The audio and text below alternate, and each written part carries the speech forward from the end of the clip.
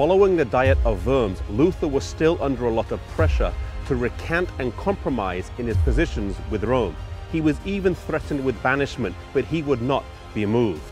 He even said he would give up assurance of a safe conduct, but never his positions on the Word of God. As Luther left Worms and travelled across the country, he was warmly received by the German people. But there were still many people who wanted to kill Luther, and the emperor himself said that as soon as the assurance of his safe conduct should expire, that measures should be taken to end Luther's work.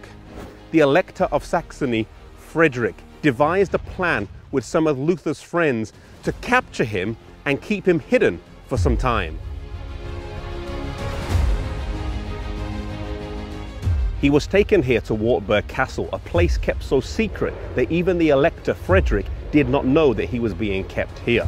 Luther's enemies rejoiced, thinking that he had been defeated, but this time for Luther would prove to be a double blessing. Not only did it withdraw him from the heat of the battle, but it also took him away from the public praise and adulation, something that can spiritually maim even the strongest of men. It was here in this room that Luther stayed during his time here at the castle.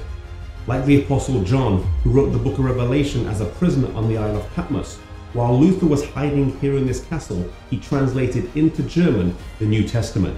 He would translate the Old Testament later after his return to Wittenberg. Another challenge to the Reformation would now appear on the horizon.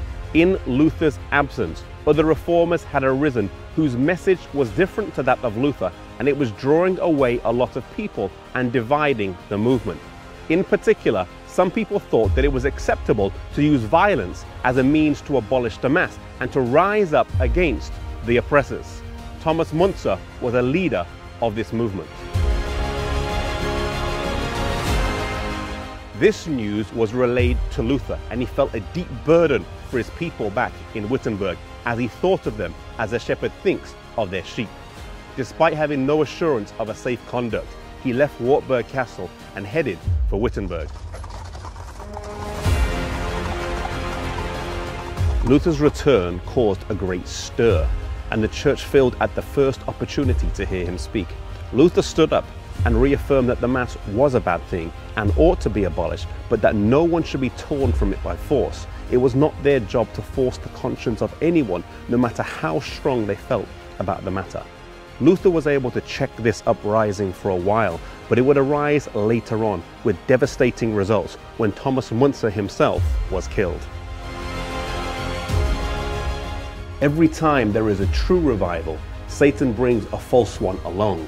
Even so, at the end of time, there's going to be a true revival of godliness, and then there's going to be a false revival as well. May we be faithful to God that we will be part of the true revival that will take place at the end of time.